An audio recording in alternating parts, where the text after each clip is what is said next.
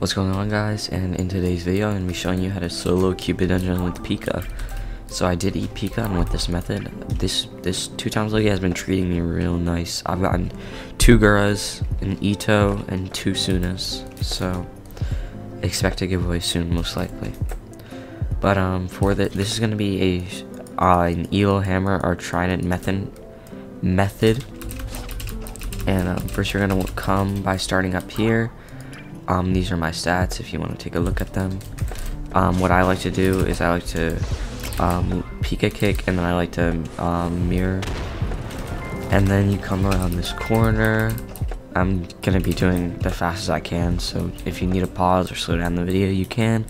Come here, block. Because sometimes bazooka users spawn. Yep, like right there.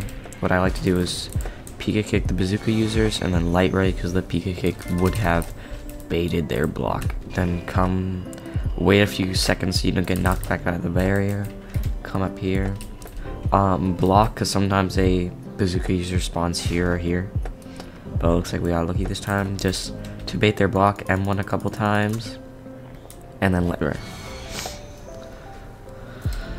For this next part, um, come jump over here.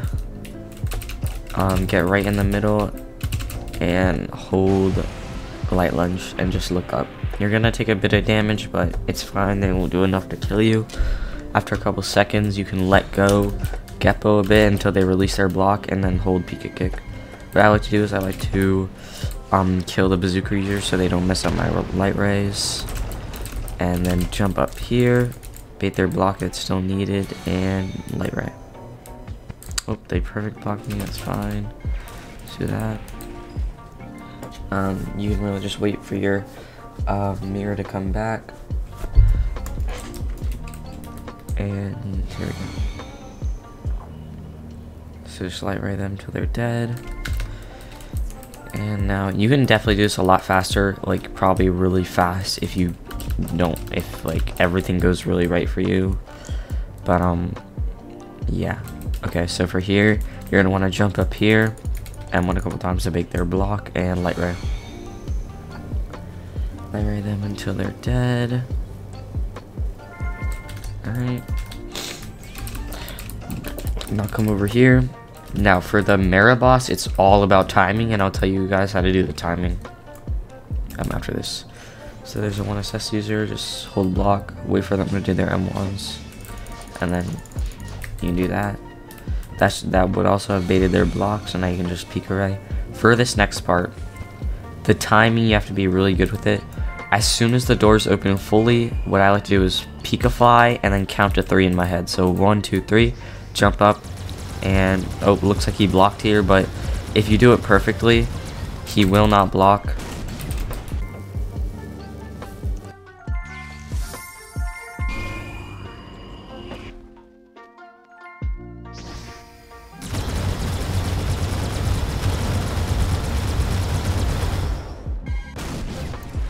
and you can just get free. So this this is gonna take a little longer, but I can tell you how to be the most efficient with the, um, the Mera boss. So M, so just do the do an M1 um, when he uses his ult. You can just Pika fly away.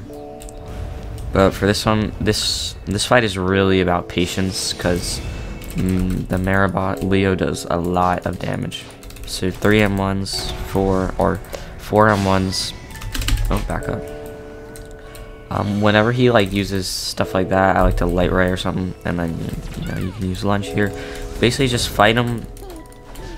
Obviously, this wouldn't take as long if you if you hit the ult, but it's gonna take a little longer since I did not hit the ult. But this is a good time for to just demonstrate how you can do it if you don't hit the ult. So just block. Just keep on, just keep rinsing and repeating. Um, you can use party table kick because that it does a good amount of damage. Light kick, and then you should be able to finish him off with Pika Ray right here. Or not. Okay, that should finish him off. There we go. Yep. Okay. But basically, the timing is fly as soon as the doors open fully, and then count to three in your head. And then you should be able to ult him perfectly. This method takes a little bit to get down, but once you get it down, it is super duper fast.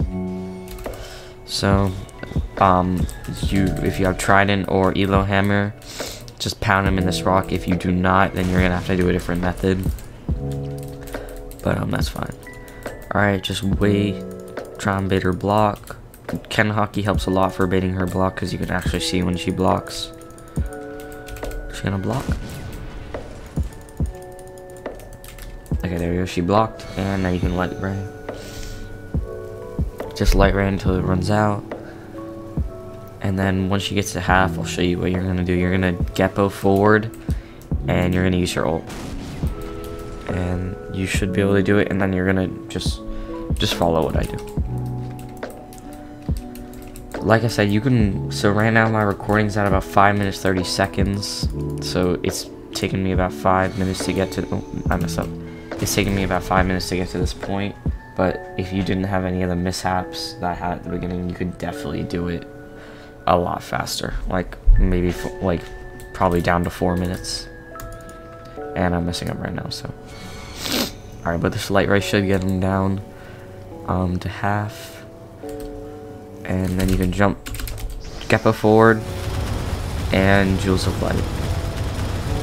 And that does a good amount of damage. And then I like to back up, block, and then just do what you were doing for Leo. Also, for NPCs like this, you could, once they do their 5 M1s, you could do party table kick because they're stunned after they do their M1s. Um, so, yeah, just be cautious because she does do a lot of damage, but after you've done it for a while, you get used to it. And yep, there we go. That's how you do it. My recording's at six minutes, seven minutes basically, but you could definitely do it a lot faster if you uh, don't have any mishaps. But uh, yeah, that's it. And that's the method, so see you guys in the next one. Bye.